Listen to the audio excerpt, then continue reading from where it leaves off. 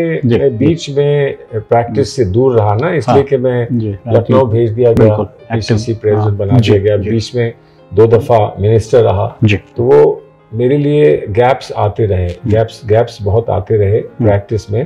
तो अनइंटरप्टेड मेरी प्रैक्टिस नहीं, रही। लेकिन जहाँ जैसे ही मैं फारिग हुआ अ, अपनी असाइनमेंट से पॉलिटिकल असाइनमेंट से हम्म। मैं सीधा आ जा चीफ जस्टिस पुंची ने मुझे अच्छा, जी, अ, मुझे सीनियर एडवोकेट बनाया था।